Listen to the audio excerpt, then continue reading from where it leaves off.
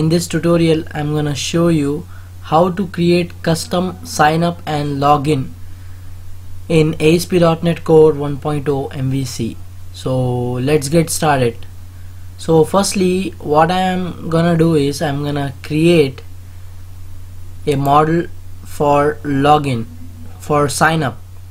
So in this model uh, I am taking some properties like ID for the indication of a row in the database table and the another attribute uh, the another property is email address and the attributes I have given for this property are required attribute along with the error message and display attribute. It simply displays the property name on our view page and the data type. This data type represents the type of this property. So I'm giving the data type of this property as email address and also I'm giving the error message if the users uh, if if the user tries to give the email address without at the rate or dot symbol. So this message will get called on our view page. So this is the email address property and this is the username property. So I have given only two attributes for this property the required attribute and the display attribute. And the last is the password property. And also I have given three same properties as like an email address to this password property that is required display and the data type.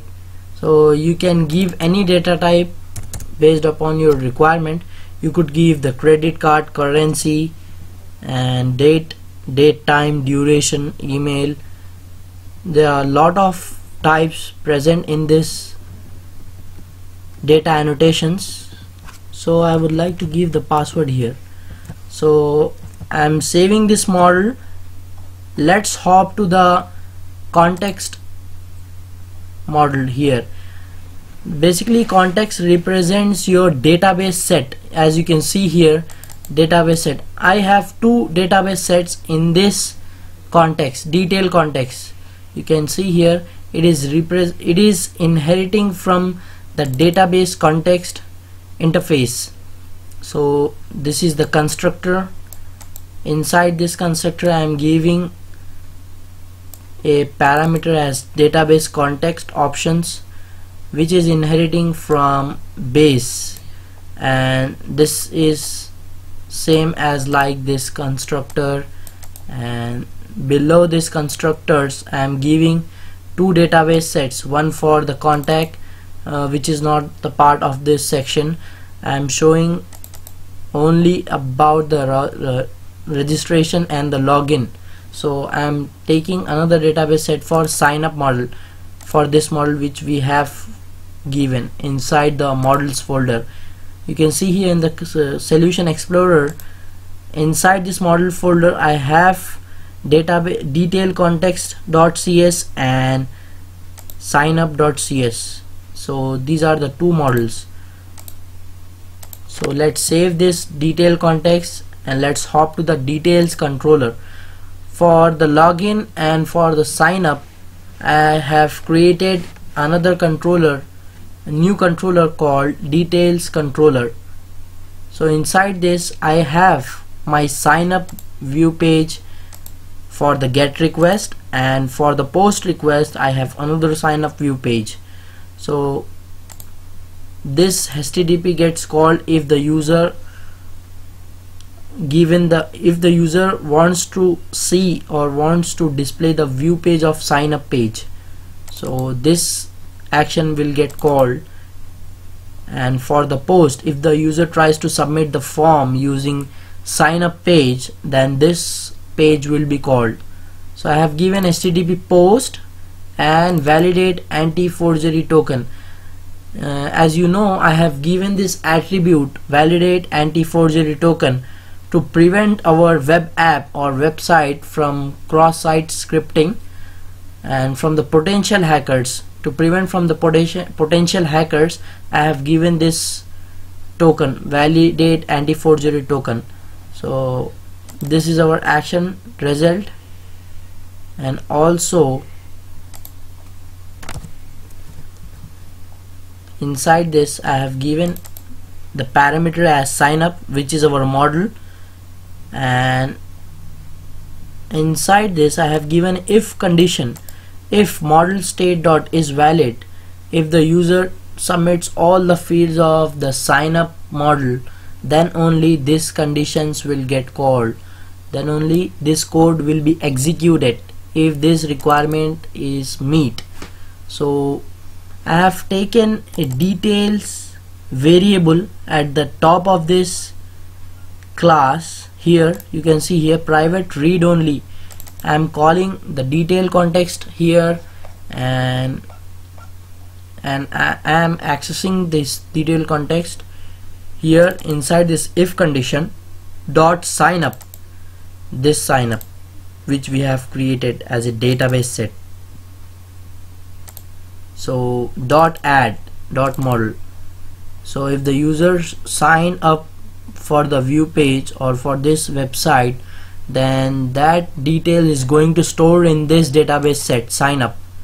And also after uh, saving or after adding any row or any data inside the database set or a database table don't forget to save that changes.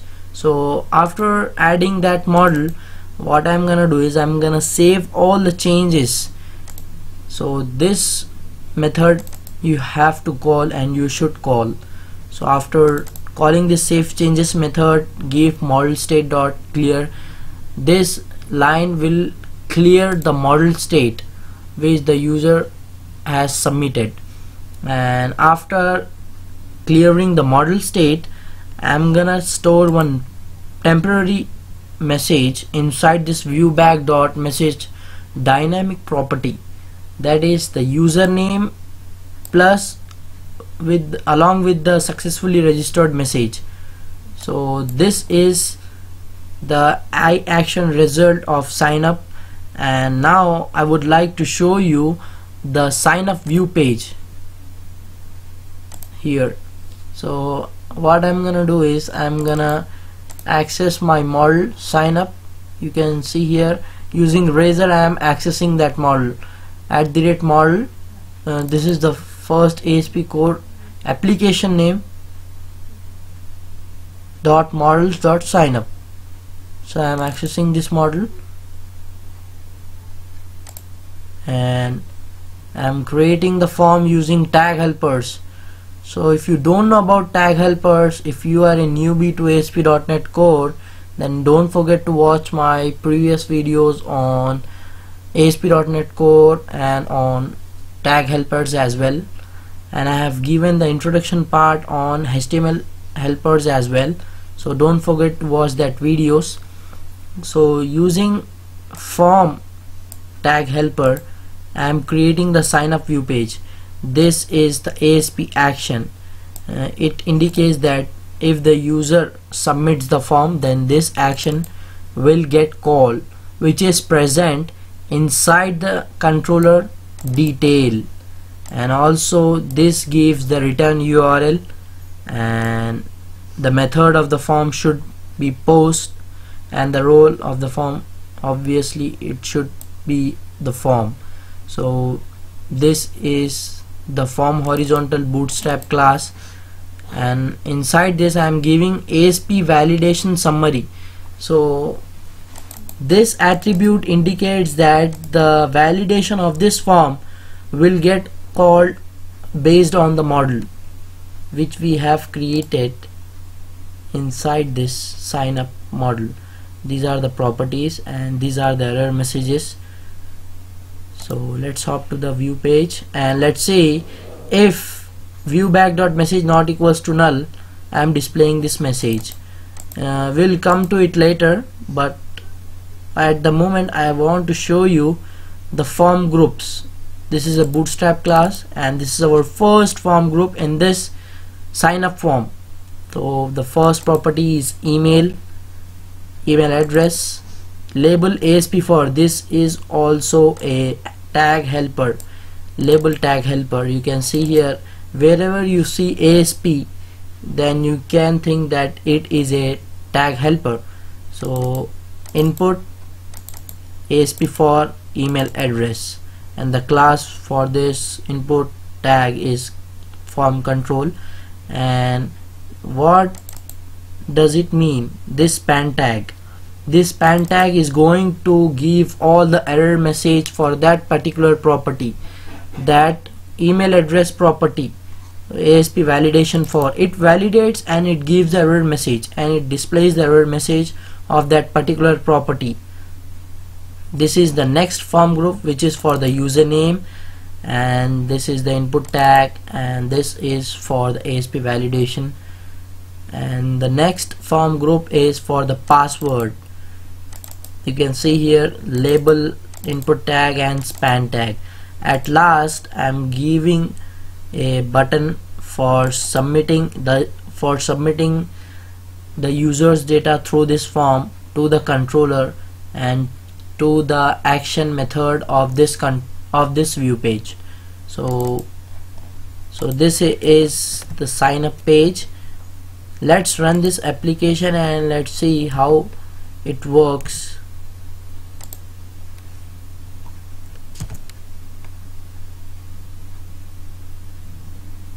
You can see here I am running this application on my browser Google Chrome and also I'll show you about this ViewBag message and what it displays. I'll show you later. And also I want to show you the login view page how we can log in.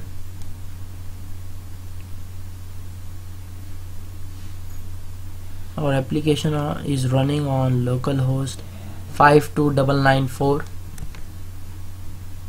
this is the login page. So first we'll see the sign up page and how we can sign up how we can register with this web app. First we'll see that and later we'll come to the login part how we can log in and what is the logic of login inside the detail controller. You can see here this is the login iAction result and this is for the what you can see for the get request. I commented out this two data annotations http get and allow anonymous. And this login method will be called for the http post. You can give your controller name and the action method. While giving this while giving the names in the URL you should give it correctly. Otherwise you will get a internal server error.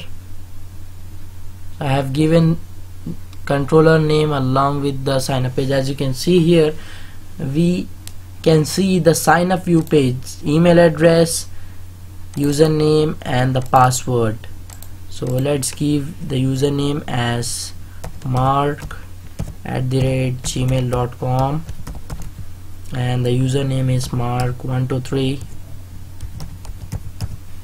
the password is 1234 let's sign up and we'll see. You can see here mark 123 successfully registered. This is the ViewBag dot message which we have given in our controller in in our action method. You can see here ViewBag.message model dot username plus I'm concatenating that username along with this successfully message successfully registered message. And I'm displaying it my I'm displaying on my view page here. If you back dot message not equals to null then I am displaying this message. So this is all about the sign up part. And now I would like to show you the login part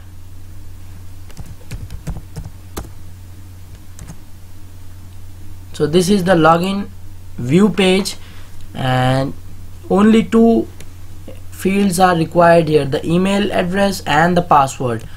And we'll see how it works. So this is the login page and and I'm given I have given the same form inside the login view page but with different attributes but with different action as well. You can see here ASP action login and the controller is same detail. And this using this tag helpers I am creating the login view page form. And I have given two properties here the email address and the password. At last I am giving a submit button so if the user submits if the user tries to log in into the website then this action will be called this action the http post login. Inside this I'm taking two parameters one for the model sign up model and next for the return URL and this view data temporary dynamic property or dynamic dictionary stores the return URL and I am checking my checking the data of the submitted form that these login details will exist in our database or not. That part I am checking using this variable user. This is the context variable details dot. Sign up is the database set which we have given in the detail context here and dot where u means user. You could give any variable name here and I'm checking using lambda expression u dot email address equal equals to model dot address. If the given email address of this login form matches with the email address of database which is present the email address which is present in our database. So the email address of this given submitted form and the email address which is present in our view form should get matched. And also I am giving and here. The password should get matched. Along with the email address I am also checking for the password that's why I have given and between these two. So the password should get matched. Dot first or default. This is a method. If this condition satisfy if not model state dot is valid and user not equals to null then only our application will be redirect to the login logged in action result which is present uh, at the uh, which is present below the login login action result. Else it will give the bad request object result. So you can log in with the given email address and password using this login view page. So hope you like this video. Hope you enjoy this video. Please like and subscribe my channel and don't forget to watch my previous videos on introduction to ASP.NET Core MVC and don't forget to drop your feedbacks in the comment section below. And thanks for watching this video. I'll see you in the next video